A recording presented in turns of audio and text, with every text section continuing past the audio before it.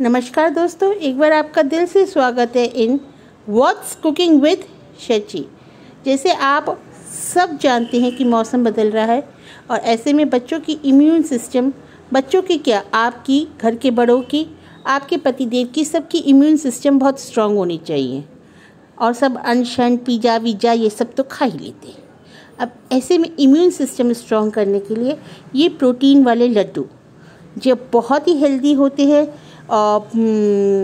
Calcium युक्त होते हैं, इन्हें बना के रोज़ अगर एक खिलाया जाए तो सबकी सेहत को प्यारे न्यारे हो जाएँगे। तो करना क्या है, वीडियो को अंत तक देखना है छोटा सा वीडियो है, और इसे बनाना है, खाना है, खिलाना है, और बताना है कैसा लगा। और पसंद आए तो अपनी फ्रेंड्स और फैमिली के साथ शेयर करना है। और हाँ अगर अभी तक आपने मेरा चैनल सब्सक्राइब नहीं किया तो please please please please please channel को सब्सक्राइब कीजिए, बेल आइकन को प्रेस कीजिए जैसे जब जब मैं वीडियो अपलोड करूँ आपके फ़ोन की घंटी बजे और हम और आप बार बार मिल सके। तो चलिए, चलते हैं रसोई की ओर।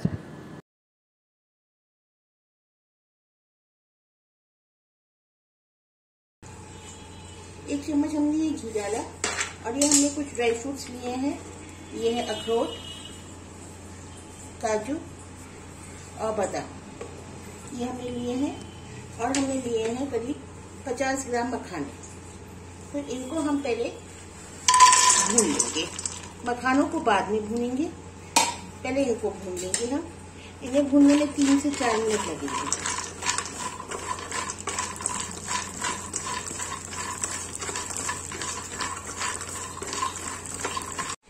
ये हमारे खूब अच्छे से भून गए हैं। इसमें हमारे दो से तीन मिनट लगे हैं, इनको हम निकाल लेंगे और इसे कढ़ाई में हम फिर से आधा चम्मच घी डालेंगे।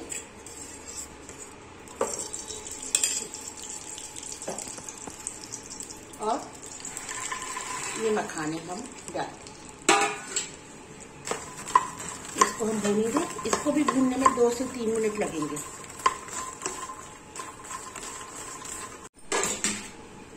अब ये हमारे अच्छे से भून गए हैं। अब इसको हम पलट लेंगे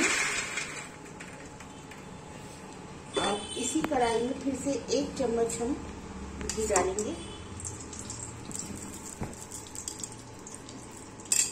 और ये हमारा आधा किलो खजूर है। इनके हमने बीज निकाल लिए और इनको हमने हाफ़ हाफ़ में कट कर लिए। किसी में भी आप देखेंगे बीज नहीं है और इनको हम अब इसमें भून हैं। इन्हें हम ज़्यादा नहीं भूनेंगे, हमें डर है कि कहीं काले ना हो जाए। तो आप देखेंगे कुछ का कलर चेंज होना शुरू हो गया है। तो गैस फ्लेम को हम करेंगे बंद। अब इन तीनों चीज़ों को अलग अलग ठंडा होने पे हम दरदरा पीस लेंगे।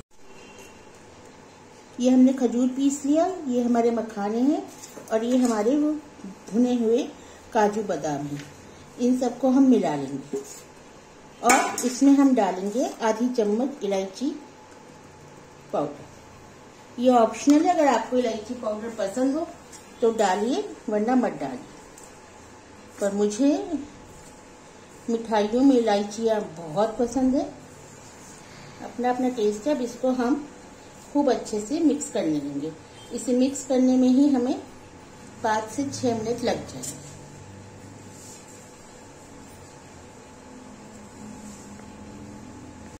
ये देखिए, इसको ऐसे हम लड्डुओं की शेप देते जाएँगे। ये बहुत प्रोटीन पैक्ड है और ये बहुत हेल्दी है। इनमें ना शुगर है, ना घी है और ये अगर आपके बच्चे बाहर रहते हैं या हस्बैंड बाहर रहते हैं तो ये आप उन्हें बना के दे सकते हैं। आराम से ये एक दो महीने चल जाते हैं।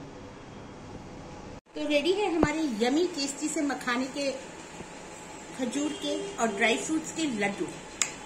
इसमें ना शुगर है, न घी है, बस क्या है? हेल्थी हेल्थ प्रोटीन और कैल्शियम तो ये लड्डू इस सर्दियों में अपने बच्चों को बना के तो देना ही बनता है बॉस तो बस करना क्या है? इस वीडियो को देखना है किचन में जाना है। देखना है कौन सा सामान घर में अवेलेबल है, कौन सा नहीं है, और जो नहीं है, वो जल्दी से बाज़ार से लेकर आना है। और ये लड्डू बना के फिर इनबॉक्स में बताना है कैसा लगा।